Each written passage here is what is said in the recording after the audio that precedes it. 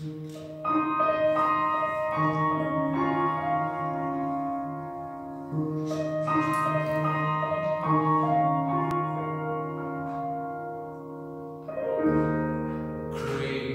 world, full of crazy contradictions like a child.